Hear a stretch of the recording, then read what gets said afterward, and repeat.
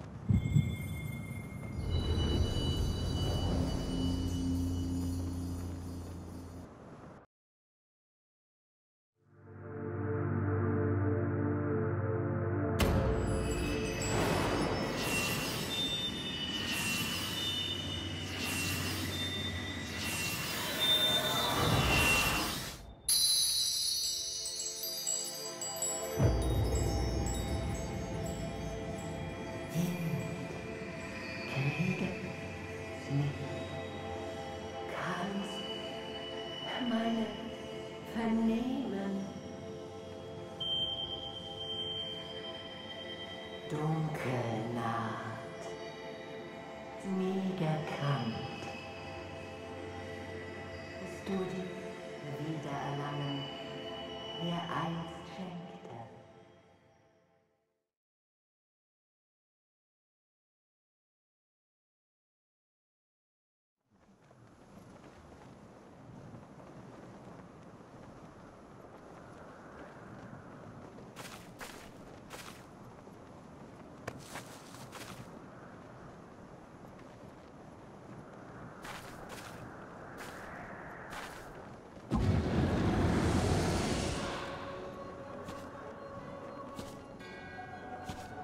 Sie hat Bismarck besiegt.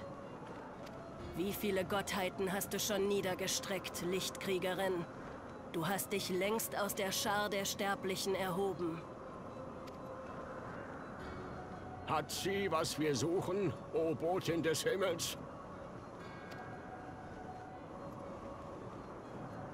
Das ist er, der Schlüssel zur Wunderkammer des Alagischen Reiches.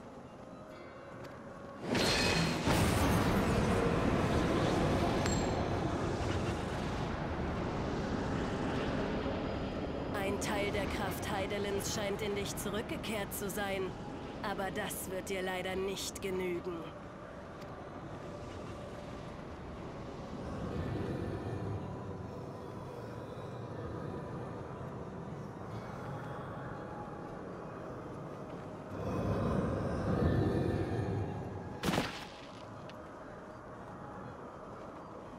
Ich danke euch für eure Hilfe, Boten des Himmels. Und auch der Lichtkriegerin gebührt unser aufrichtigster Dank. Sie hat uns den Kampf gegen Bismarck abgenommen.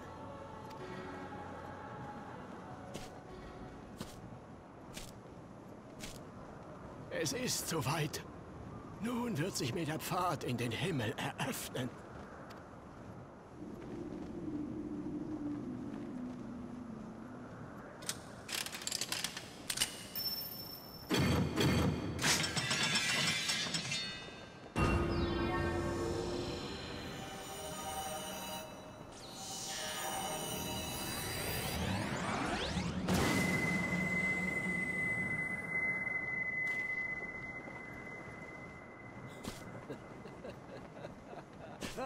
Ha ha ha ha ha!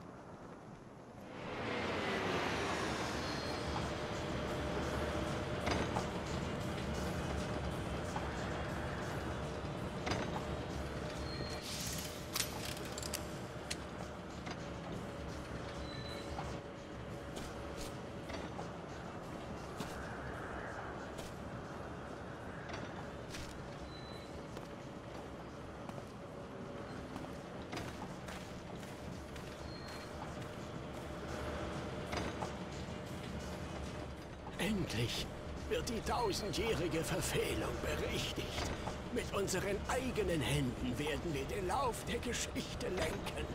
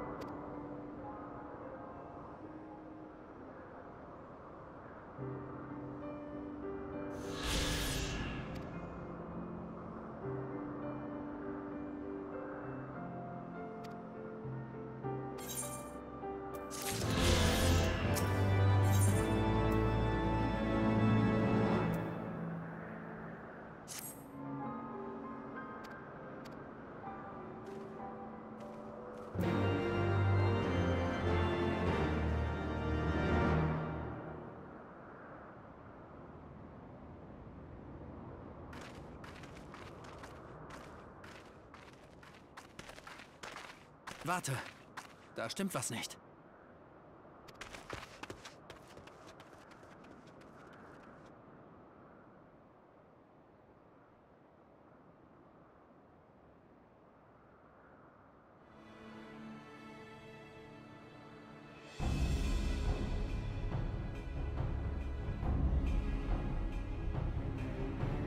Die Galea. Sie haben die Siedlung unter ihre Kontrolle gebracht.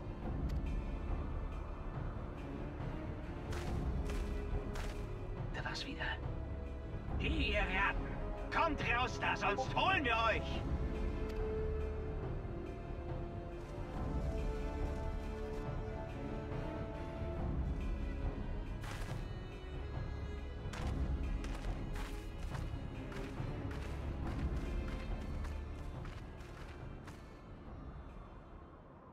Doch keine Wilden?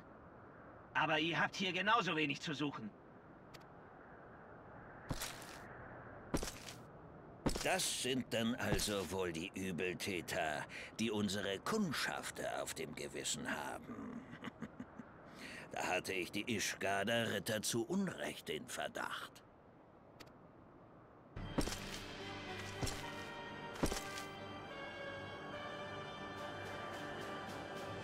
Genau wie der Weber sagte. Die Kriegerin des Lichts taucht überall zur unpassendsten Zeit auf. Dann ist das diejenige, die Legatus van Belsa schlug? Ja, sie hat den Wolf liquidiert und unsere Invasion abgewendet. Und nun will die Heldin Eoseas auch nach Asisla. Wenig überraschend. Die Relikte dort sind der Schlüssel zur allergischen Macht. Das zieht eben auch solche Amateurforscher und Weltretter an, wie sie in eurem Bund versammelt sind. Schließlich konnten die Alager die Götzen der Wilden fesseln. Mich interessiert allerdings mehr, wie man die Welt von diesen Parasiten befreit. Das ist doch auch euer Ziel. Ja, das schon. Aber wir benutzen es nicht als Vorwand, um ganz Eorsea zu unterjochen.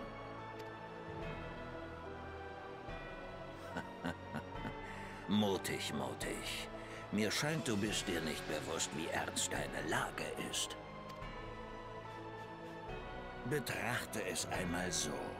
Im Vergleich mit dem Schicksal des Planeten ist es doch nebensächlich, wer die Vorherrschaft in Eosea innehat.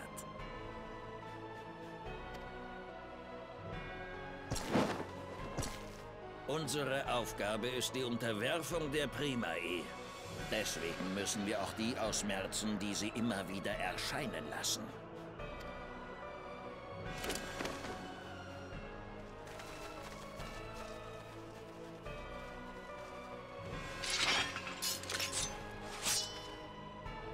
Wartet! Sie haben nichts mit der Beschwörung zu tun.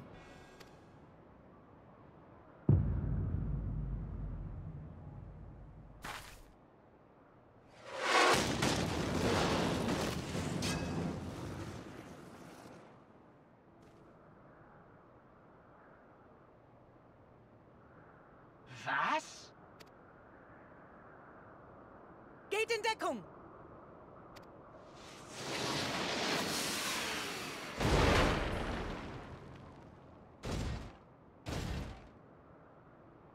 Eure Majestät, wir ziehen uns zurück.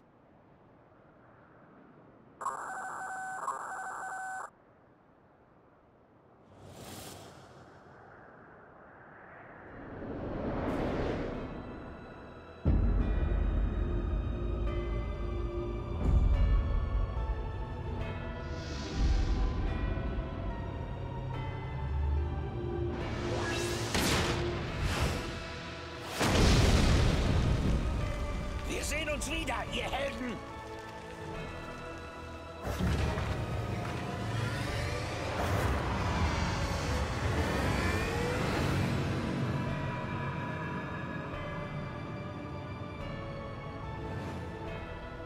Das ist also das neue Schlachtschiff der Galea. Und der Kaiser höchstpersönlich leitet die Expedition. Asisla muss von immensem Interesse für ihn sein.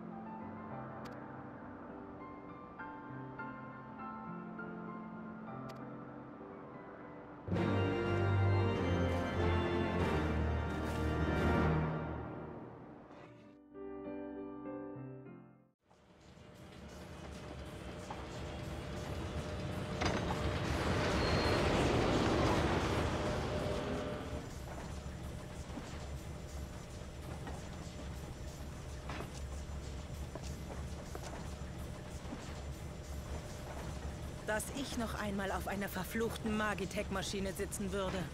Und das noch unter diesen Umständen.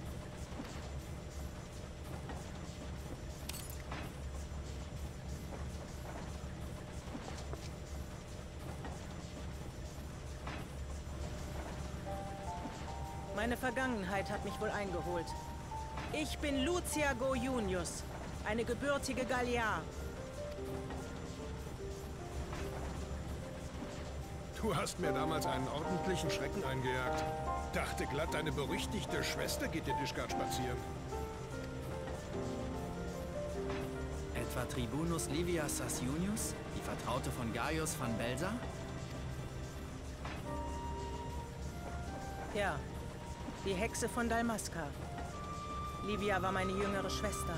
Nachdem wir die Eltern im Krieg verloren hatten, kamen wir bei verschiedenen Ziehfamilien unter. Meine Schwester wählte die Offizierslaufbahn, während ich als Spionin ausgebildet wurde. Dann war Ischgard also... Mein Einsatzort. Garlemald vermutete, dass die Kurie allergische Relikte versteckt hielt, die für uns von großem Interesse waren. Mir wurde nicht genau gesagt, wonach ich suchen sollte. Jetzt denke ich, es muss der Schlüssel zu Asysla gewesen sein. Und dann wendete sich mein Schicksal.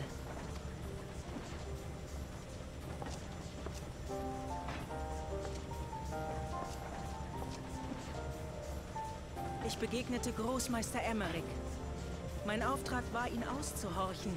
Doch bald sah ich, dass mich mit ihm weit mehr verband als mit allen Galeanen, die ich kannte. Auch er litt unter seiner Herkunft. Denn als illegitimer Sohn des Papstes gab es für ihn keinen offiziellen Platz in Ischgard. Aber anders als meine Schwester und ich verfluchte er sein Schicksal nicht. Er nahm es an und wuchs darüber hinaus. Mein Platz war an seiner Seite. Das spürte ich tief im Inneren. Er verkörperte Werte, für die ich kämpfen konnte. Und so verriet ich die Galea und vertraute mich ihm an.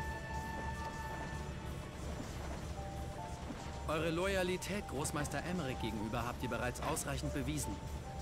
Aber wenn Livia eure Schwester war, dann... Ich sagte es bereits, als wir uns in Camp Drachenkopf begegneten. Wer der Vergangenheit nachhängt, verliert den Blick auf die Zukunft.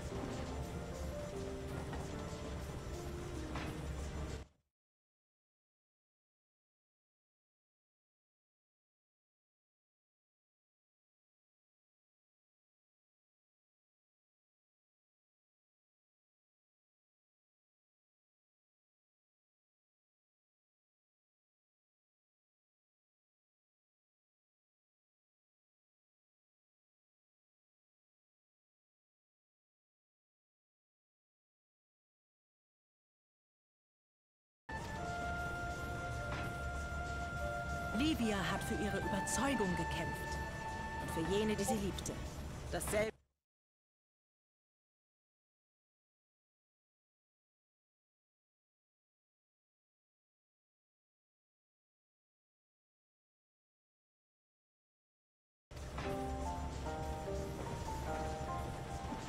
Na, ich freue mich jedenfalls über den galeischen Zuwachs. Wir Überläufer müssen doch zusammenhalten Und es ist immer schön zu sehen, wie vielfältig Magitech-Maschinen doch einsetzbar sind.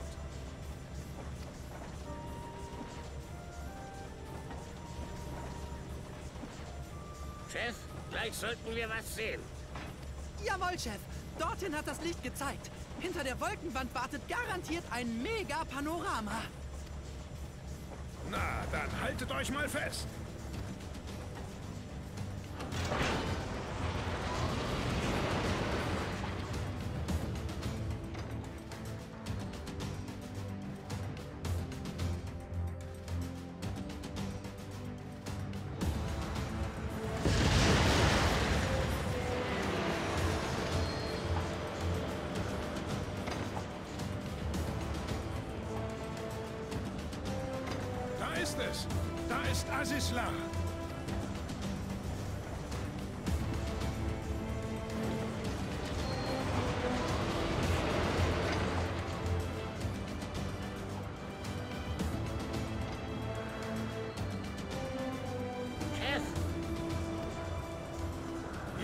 Das sind allergische Bauten. Wir haben es geschafft.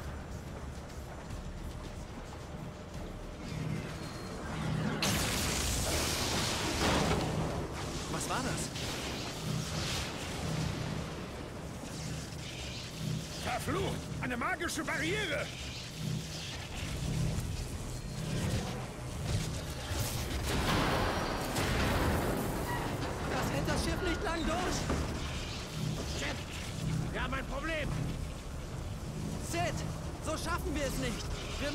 Ishgard zurück.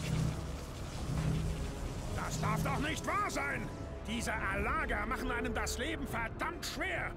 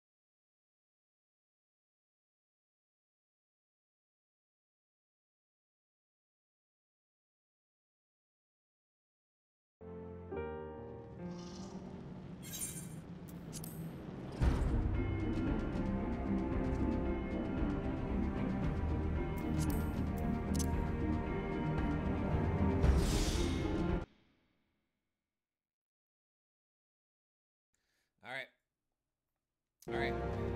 Okay. Three, two, one.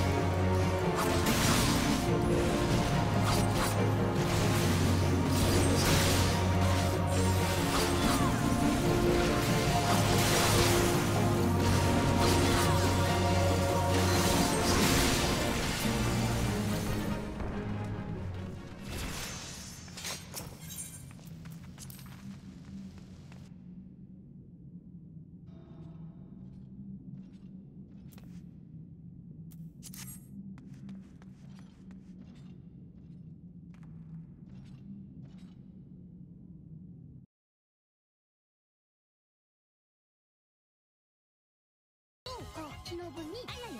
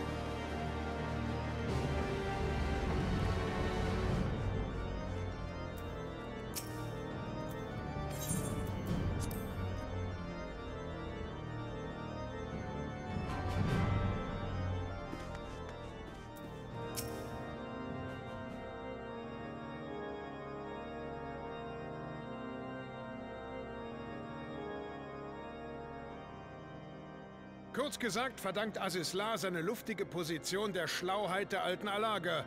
Und wir können sicher sein, dass der Papst und seine Konsorten gerade die Aussicht genießen. Ich verstehe. Das Problem ist, dass die Insel von einer hochdichten Äthermauer geschützt ist. Ein falsches Manöver und wir werden pulverisiert.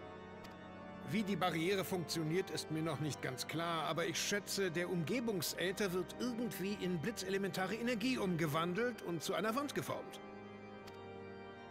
Ohne den Schlüssel können wir sie also nicht durchdringen. Hm, ich würde mich gar nicht so auf diesen wundersamen Schlüssel versteifen. Was weg ist, ist weg. Wie stehen unsere Chancen, mit Gewalt durchzubrechen?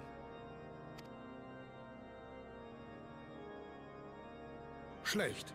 Theoretisch könnten wir es wieder mit dem guten alten Elementarumwandler versuchen. Die blitzelementare Energie umwandeln und gegen die Mauer richten.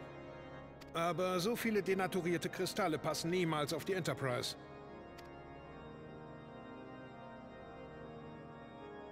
Ja, diesmal ist das Kraftfeld weitaus größer als Garudas Sturmwand. Und Leviathan haben wir nur standgehalten, weil wir zwei Schiffsladungen voll mit Kristallen hatten. Ich sage nicht, dass wir das Handtuch werfen sollen. Wir müssen die Barriere ja nicht neutralisieren, nur durchstoßen. Ist das nicht genauso schwierig? Nein, das würde ich nicht sagen. Wir brauchen nur einen geeigneten Bohrer, einen hochkonzentrierten Ätherstrahl, der als Rambock fungiert. Da müssten mir allerdings ein paar Ätherfachleute unter die Arme greifen. Ätherfachleute. Ja, wenn die Exegeten alle bei uns wären. War Fräulein Tataru gestern Abend nicht ganz aufgeregt, weil sie einen Hinweis auf den Verbleib einer eurer vermissten Gefährten erhalten hatte? Was? Ha, man soll eben nicht zu früh aufgeben. Seht ihr mal zu, dass ihr eure verschollene Kameradin wiederfindet. Und ich baue inzwischen die Enterprise um. Ich muss den Rumpf verstärken und dann natürlich die Ätherramme anbringen. Ah, warte nur, mein Schätzchen, bald funkelst du wie frisch vom Stapel gelassen.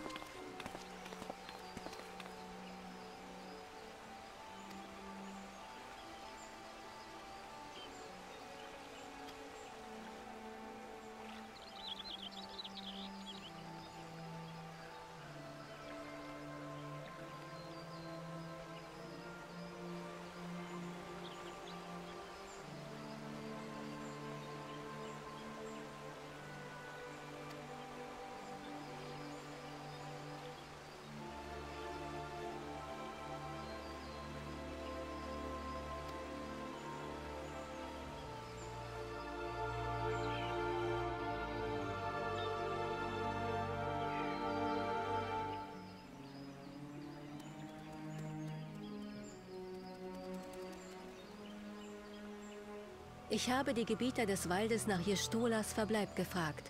Doch diese Wesen unterscheiden sich zu sehr von uns. Wie meint ihr das? Wenn wir jemanden wahrnehmen, erkennen wir ihn an seiner Gestalt, seiner Stimme, seinem Verhalten und verbinden diese Merkmale mit seinem Namen. Doch die Gebieter sind Wesen aus reinem Äther und achten stattdessen auf feinstoffliche Muster und Vibrationen in der Ätheraura. Das ist auch der Grund dafür, dass wir ihre Stimmen nicht vernehmen können. Denn unser Gehör trägt nur Schwingungen. Wir Saatseher stehen über unsere Gefühle mit ihnen in Verbindung. Doch selbst wir vermochten ihnen Jestola nicht in ihren Erkenntniskategorien zu beschreiben, wenn wir nur jemanden mit ähnlichen Äthereigenschaften hätten. Ich wüsste da jemanden. Jestola hat eine jüngere Schwester. Das hat sie mir einmal gesagt. Und die lebt in Gridania. Das wäre tatsächlich eine Möglichkeit. Denkt ihr, dass ihr sie finden und nach Immerschatten bringen könntet? Dort werden wir die Gebieter noch einmal nach Jestolas Verbleib befragen.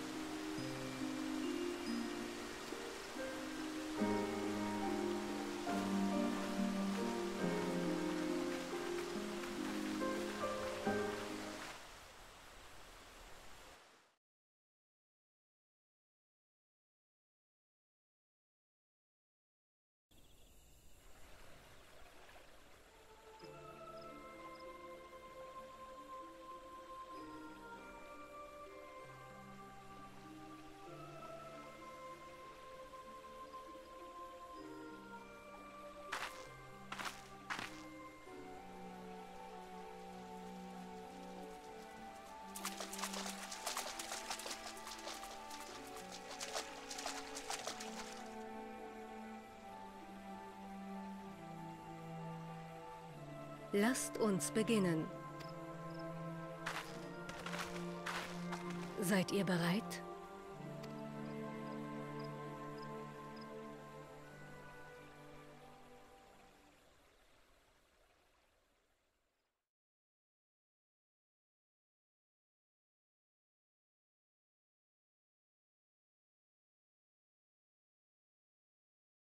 O Gebieter, Wir kommen mit einer demütigen Bitte. Lasst eine irrende Seele zu uns zurückkehren. Führt sie zu uns.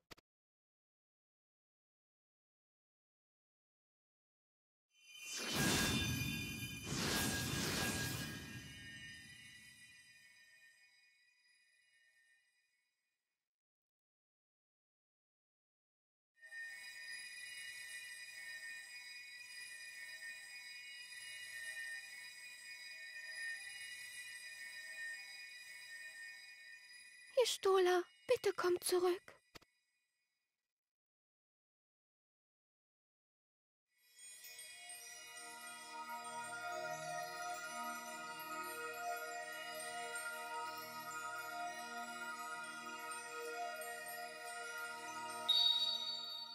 Ich habe sie. Jetzt.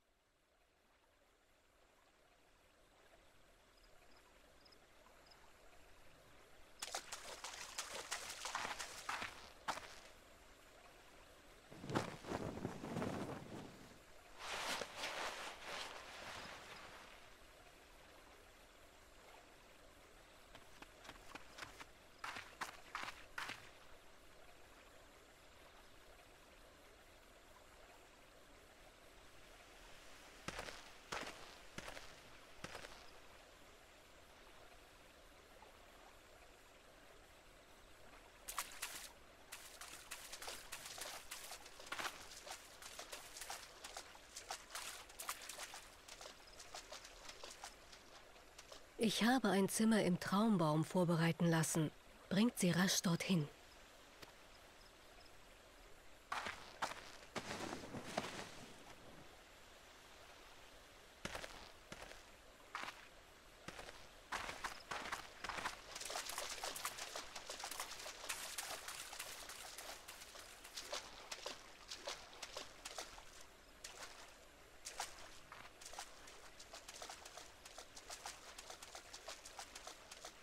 Lasst uns den Gebietern für ihre Güte danken.